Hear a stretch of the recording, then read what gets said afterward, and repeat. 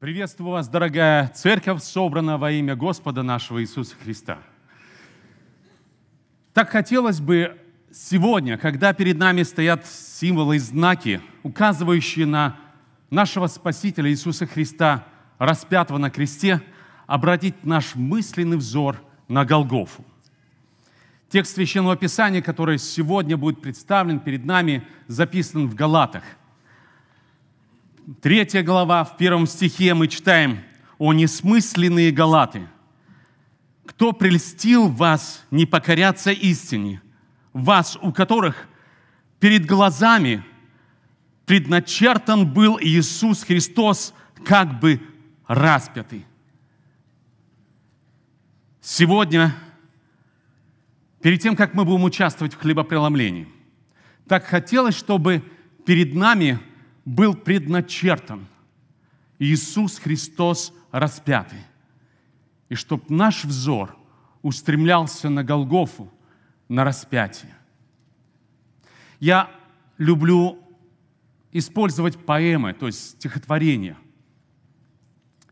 в своих проповедях. Сегодня – стихотворение, которое было написано уже больше 40 лет назад и переложено в то же самое время на песню. Я постараюсь спеть. Джоанна попробует. Давайте выслушаем песнопение, которое, надеюсь, поможет нам подойти к Голгофе.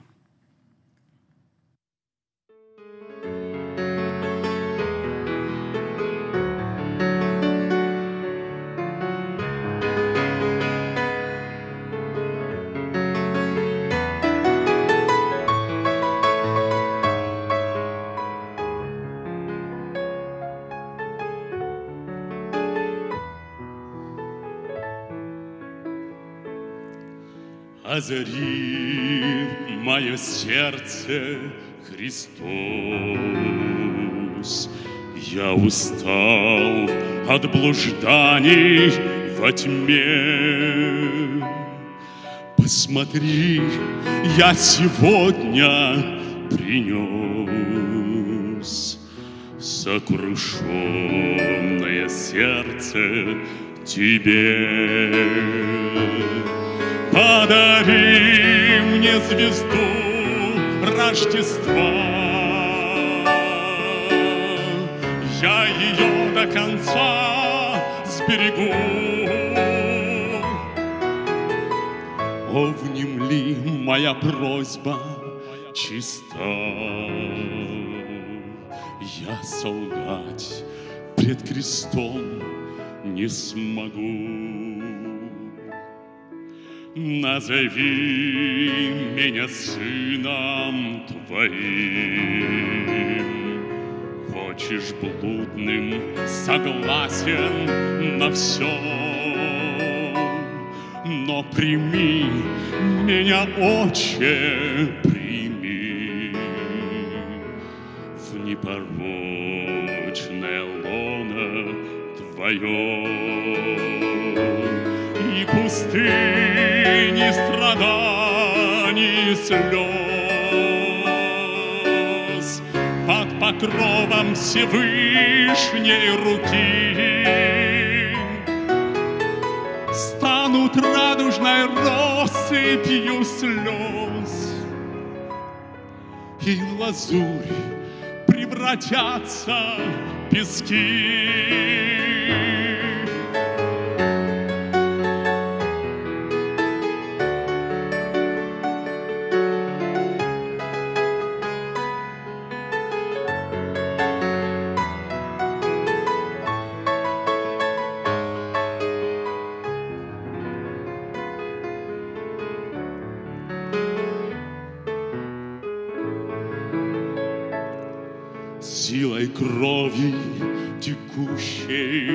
С креста.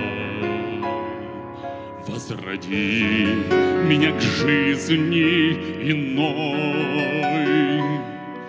Видишь, камнем бездушным я стал. Сокруши меня алой волной. Станут раем цветущим моим. Все страдания, обиды, невзгоды.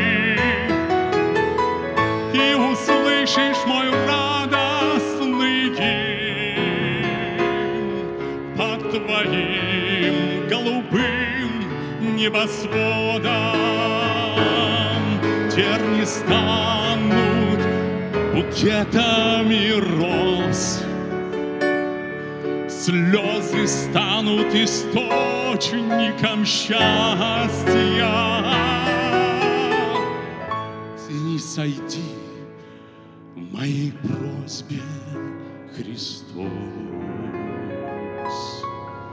с высоты Твоего распятия.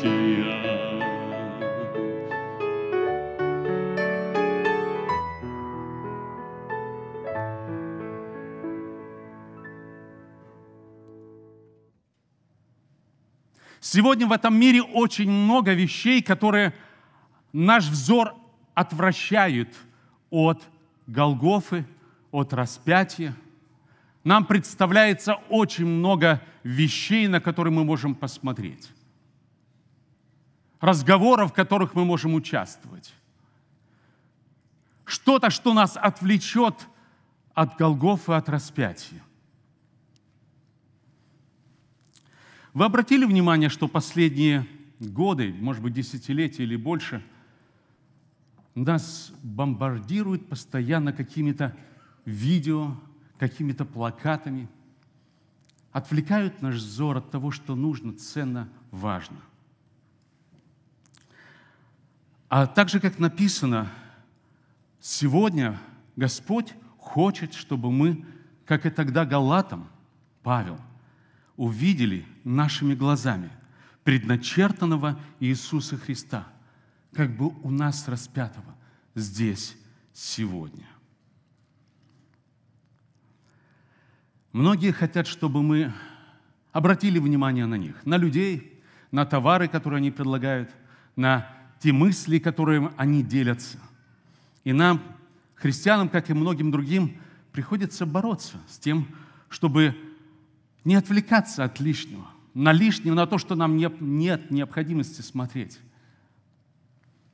И знаете, в этом мире очень много людей, которые платят большие деньги для того, чтобы научить тех, которые бы нас отвлекали от того, что важного, ценное, вечное, на то, что временно и маловажное. Наверное, многие из вас часто слушают рекламу по телефону. Отвлекает нас, не правда ли? Очень сильно. Включишь YouTube, хочется посмотреть что-то полезное, и тут какие-то заставки, постоянные картины выставляются, реклама. И на дорогах, и повсюду в магазинах, куда ни глянь, все отвлекает нас. И потом думаешь, вау, неужели я действительно нуждаюсь в этом – если только попустишь своим мыслям, не пободрствуешь, находишь себя уже борющимся, нужно ли мне это или нет купить. А если еще хуже, покупаешь то, что не нужно. На то, что потрачено было, это деньги в обмен на наше время.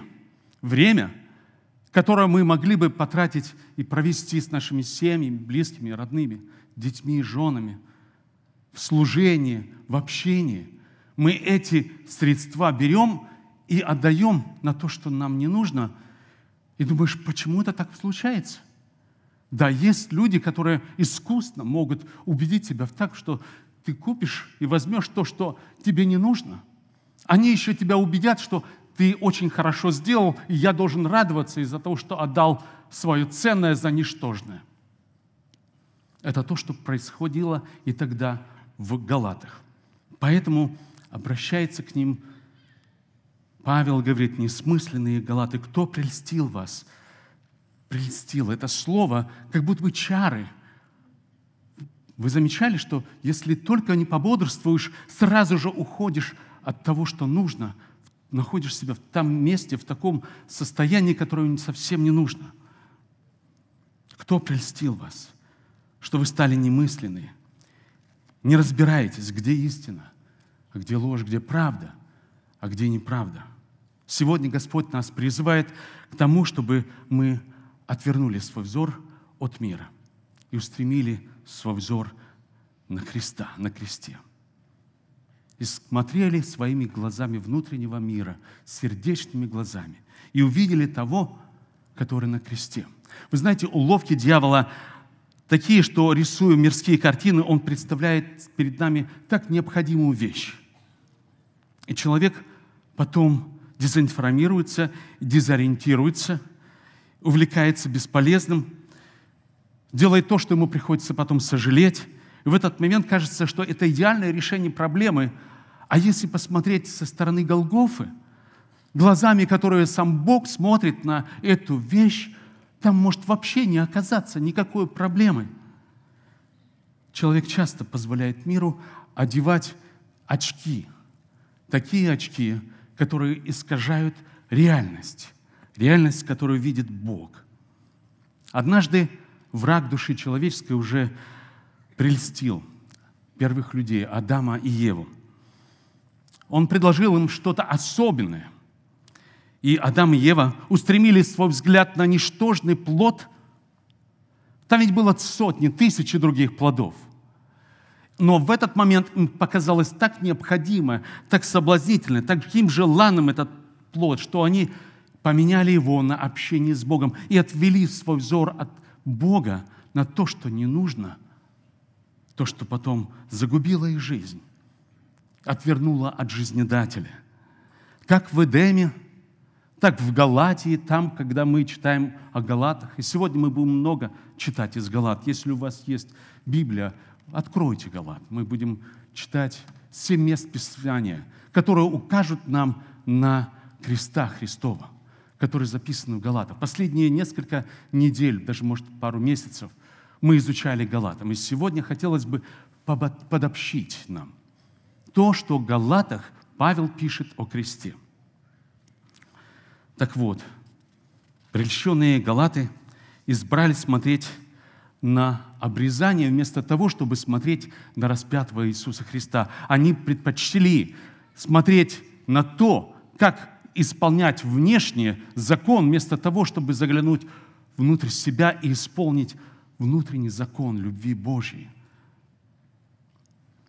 Об этом говорит контекст исторический, что действительно, галатам было очень тяжело в то время. Так получалось, что от них все отвернулись. Государство их считало, что они были неблагонадежные. Они не поклонялись императору, они не служили тем официальной религии, которая была тогда. Их соседи, знакомые, друзья не могли их понять, потому что галаты, верующие, уже не участвовали в бесплодных делах тьмы – они не пировали, они не находили себя в том месте, где идолам поклонялись, не вели себя распутно, не участвовали в ритуалах и празднованиях того времени. Если бы только они сделали одно, они бы приняли просто иудаизм, обрезались, и тогда их бы уже оставили в покое власти. Потому что в то время иудеи пользовались специальным послаблением – если это иудей, официально ты мог не поклоняться императору. И вот иудаичествующие, те люди, которые пытались христианство приобщить к иудаизму и сделать еще одной из ветки или такое отклонений в иудаизме. Вы знаете, они ни от кого не могли получить помощи только от Бога. Иудеи их не принимали, а иудействующие – вот что делали, когда в Галатам 4 глава 17 стихе читаем «ревнуют по вас нечисто, а хотят вас отлучить, чтобы вы ревновали по них».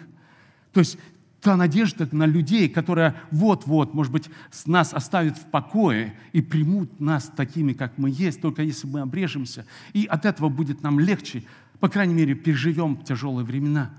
Это не срабатывает если бы только они могли принять. Но Павел призывает их. кто прельстил вас не покоряться истине? Вас, у которых перед глазами предначертан был Иисус Христос, как бы у вас распятый. Вопрос. Какой он ожидал ответ? Вот когда об этом спрашивал Павел.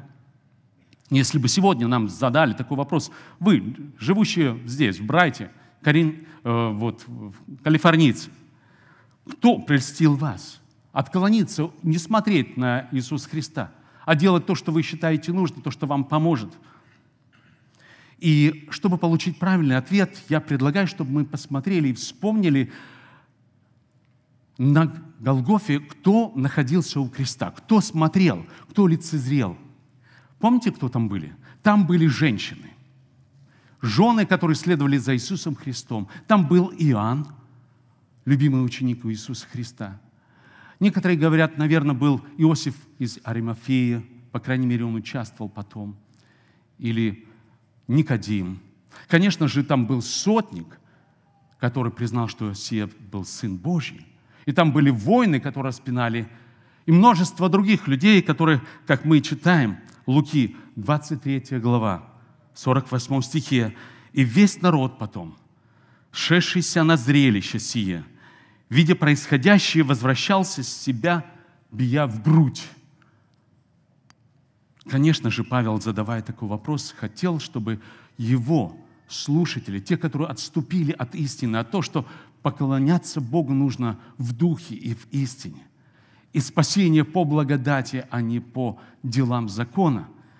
Он хотел, чтобы они раскаялись. И раскаяние или покаяние – это не бездействие, это не то, когда мы просто сидим и ожидаем чего-то или кого-то, когда придет и что-то нам расскажет или поведет нас. Нет. Это когда Дух Святой побуждает наше сердце. Мы отвечаем нашим покаянием. Друзья, нет другого правильного ответа, кроме того, чтобы покаяться, когда мы предстоим перед крестом Христовым когда мы поднимаемся на Голгофу, пусть Господь откроет наше сердце, и мы в раскаянии придем пред Его присутствие. Написано, Дух Святой, чтобы открыл сердце. Молитва Павла об этом была в Ефесянам, когда первая глава, 18 стихе, мы читаем, что Павел молится. И чтобы Отец просветил очи сердца вашего, дабы вы познали, в чем состоит надежда призвания Его. Вот что нам нужно. Я молюсь о том, чтобы Дух Святой очистил наши сердца.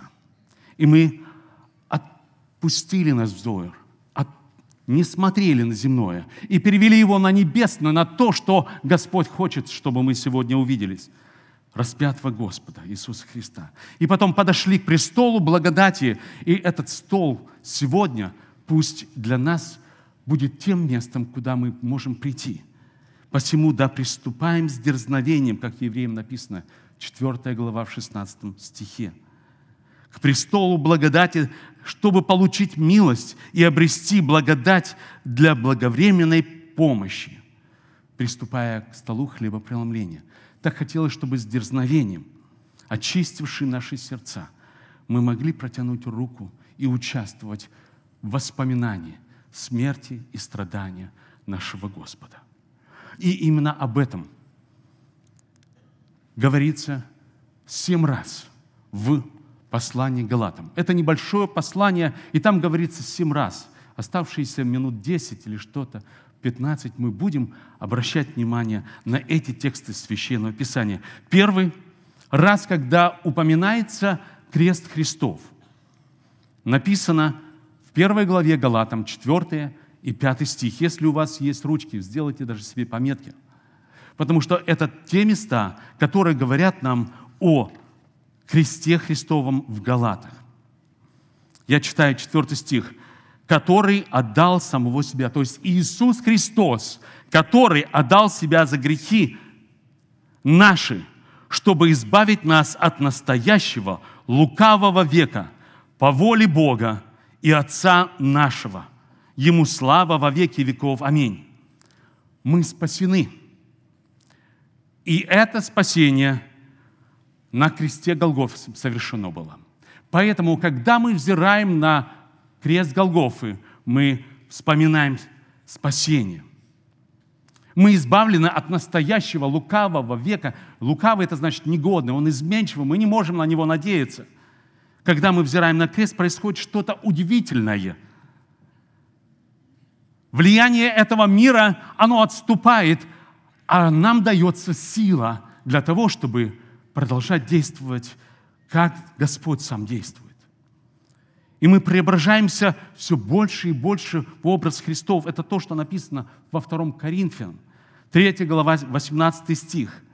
«Взирая на славу Господню, преображаемся в тот же образ от славы в славу, как от Господня Духа».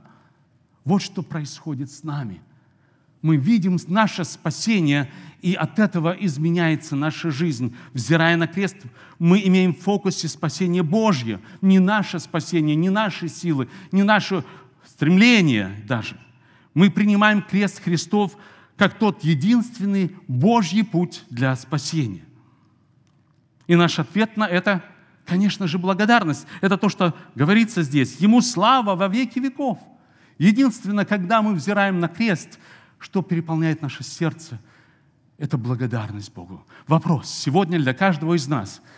Как много и как часто и как мы благодарим Бога? Индивидуально, может быть, каждый день. Сколько мы для этого уделяем время? С нашей семьей, с близкими. Или, может быть, когда собираемся вместе в собрании, мы часто можем собираться здесь. И в воскресенье несколько раз, и в четверг. Есть группы, малые группы –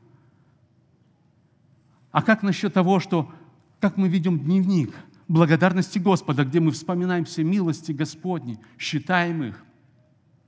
В каком состоянии этот дневник у нас? А какие стихотворения или какие песнопения мы любим вспоминать и петь, которые бы благодарили Господа?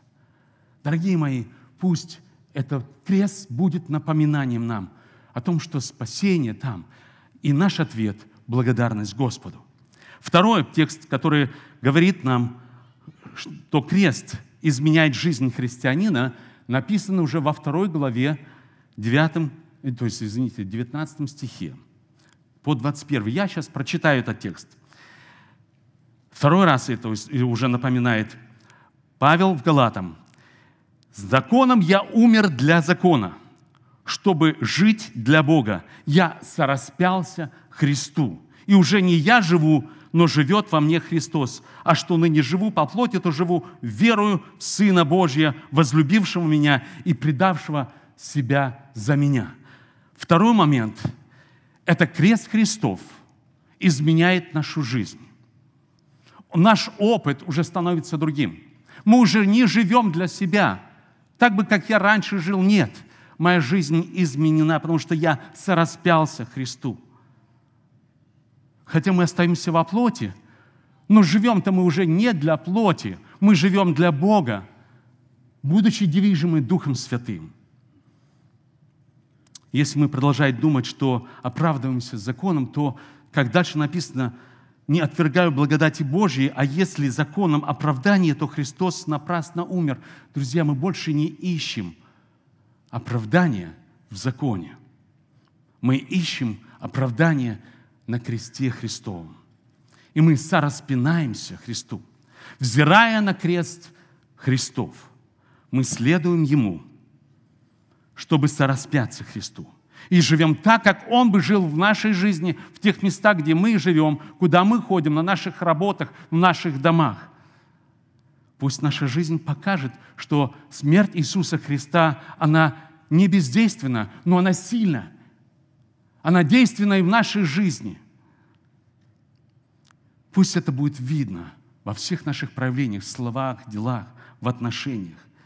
Как евреям написано, 2, 12 глава, 1 стих. «Посему и мы, имея вокруг себя такого облака свидетелей, свергнем себя всякое бремя и запинающий наш грех, и с претерпением, с терпением будем проходить прилежащее нам поприще». Когда мы взираем на крест, мы видим, что наша жизнь изменяется, потому что мы сораспинаемся Христу. Третий момент. Крест, Он находится в центре проповеди. И именно об этом говорится в Галатам 3 глава. Мы уже прочитали. «О несмысленные Галаты, кто прельстил вас, не покоряться истине, у которых перед глазами предначертан был Иисус Христос. Некоторые спрашивают, а как это может быть предначертан перед глазами Иисус Христос? Вот то слово, которое используется здесь, предначертан, обозначает или указывает на такие моменты в жизни э, Галат и того времени жителей, когда правители вывешивали большие объявления на каких-то людных местах, на рынках, и люди, проходя, могли читать это то же самое говорится, что и так предначертан был Иисус Христос. Павел брал время для того, чтобы идеально объяснить, ясно рассказать, доказать, объяснить, какое значение креста Христова для жизни. Это не просто символ. Нет, в этом жизнь. И когда мы взираем на Иисуса Христа через Писание, читая, углубляясь, рассуждая над Ним – тогда мы все больше и больше становимся похожим на креста, которого мы видим на кресте. Да поможет нам Господь пребывать в Слове.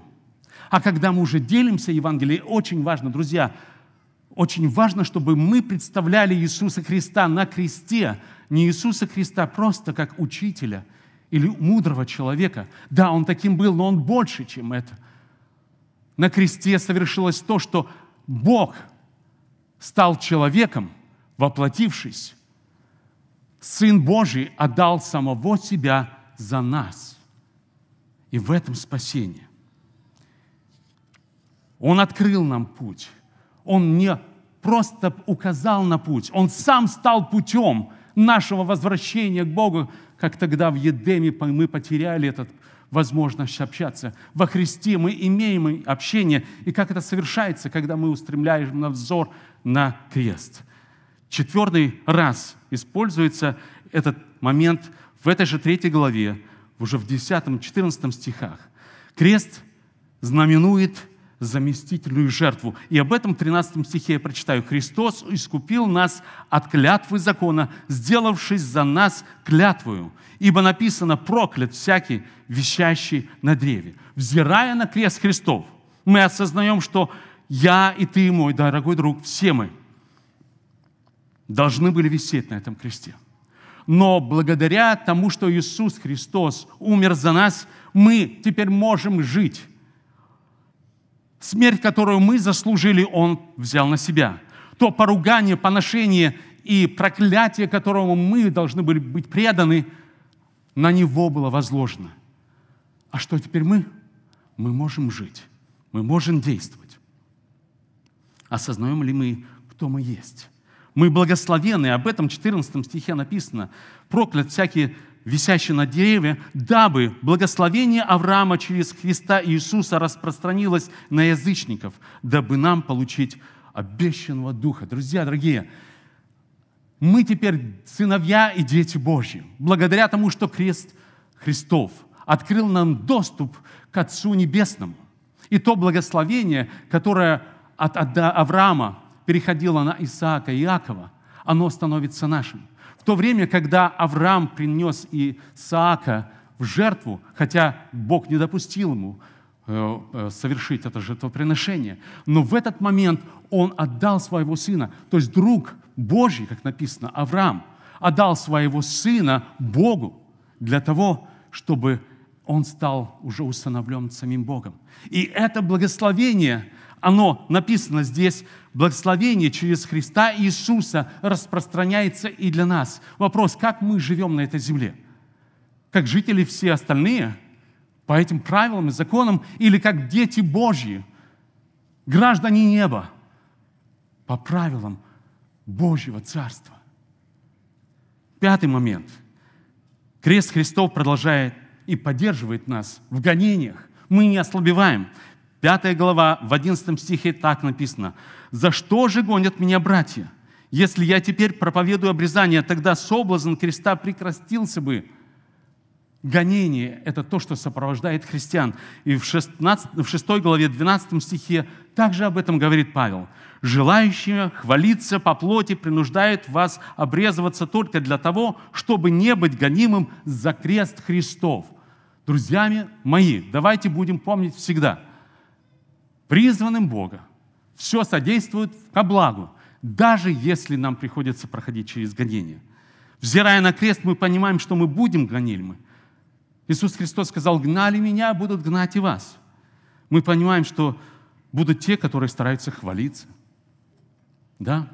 Те, которые не хотят, может быть, смирять себя и э, смирение, проходить гонения своими достижениями, как здесь написано, желающие хвалиться по плоти, они хотят, может быть, избавиться от гонения, показать и доказать другим, что они не хуже и, может, и лучше.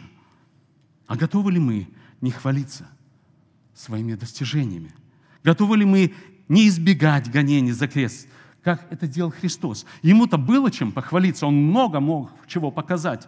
Он мог показать и на себя, но это он не сделал, он показывал только на Бога. И он совершал волю Божью и дела только Божьи, не свои.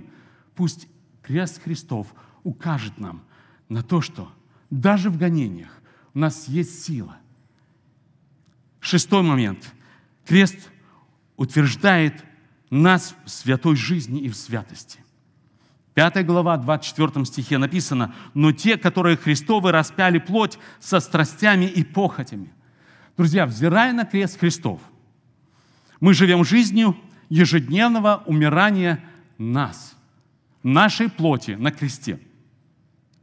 Помимо того, что с нами происходит, мы должны понимать, что мы должны умирать каждый день. Я помню, один преподаватель в семинаре говорил, как это он понимает, как он применяет в своей жизни. А, каждый день, просыпаясь, он говорит так, я говорю такие слова, а, плоть, ты все еще здесь? То есть он не игнорирует, он понимает влияние плоти, каждый день на него может оказывать. Не сказ... Но, говорит, да, я не сказал бы, чтобы я слишком рад тебя видеть, но я рад знать того, что в жизни моей есть тот, который победил плоть. И он говорит, что я провожу время общения с Богом, с Господом, вспоминая о кресте, на котором пригвождена его плоть. И после того, как провел время общения с Богом, я начинаю планировать свой день. И обратно, планирую не с плотью, чтобы буду провести день, но планирую, планирую с Иисусом Христом.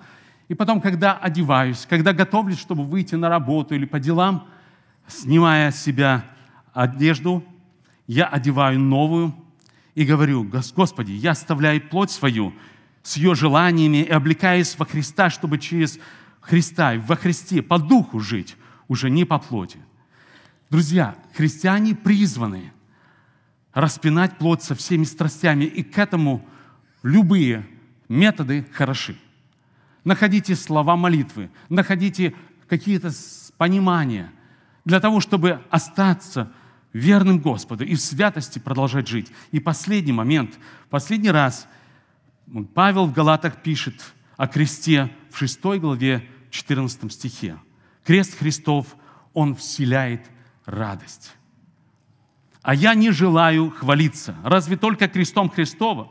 Христом Господа нашего Иисуса Христа, которым для меня мир распят, и я для мира. Взирая на крест, христиане – гордятся крестом Христовым. Не своим Христом, друзья, нет.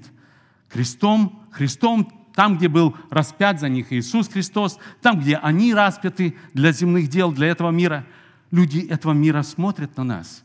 Я думаю, видят ли они нас радующимися? А если видят радующимися, в чем мы радуемся? Почему мы радуемся? Потому что у нас есть, но нам не нужно сравниваться с этим миром. Мир дает для своих намного больше, чем нам. Да, Бог дает также благословения, даже материальные, своим детям, но это не для того, чтобы хвалиться, а для того, чтобы использовать для славы Божьей и для того, чтобы прославился Господь. Будем внимательны. Как написано в этой э, в пятой главе, но те, которые Христовы, распяли плоть со страстями и похотями.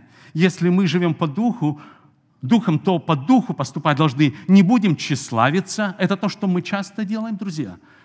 Посылая друг другу фотографии или, может быть, какие-то постеры. Мы смущаем других. Дальше написано, не будем тщеславиться друг друга, раздражать. Мы можем раздражать. Даже отвлекать внимание от Христа Христова тем, что, как мы поставляем себя, радуемся во плоти, но не во Христе. И дальше написано друг другу завидовать. Дай Бог, чтобы мы не были поводом для зависти. Радовались, да, пусть видят все, наши знакомые, друзья, на работе, дома, что мы радуемся, но эта радость совершенно от Христа, не от людей. И весь мир пусть даже не поймет ее, только Господь знает.